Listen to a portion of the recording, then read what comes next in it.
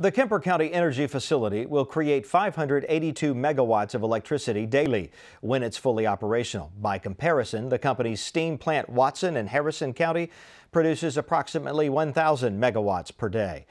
The Tennessee Valley Authority operates its own plant in Kemper County as a simple cycle combustion turbine making 340 megawatts. Its Ackerman plant creates 700 megawatts. Entergy's Grand Gulf Nuclear Station near Port Gibson in Claiborne County generates 13 to 1400 megawatts daily.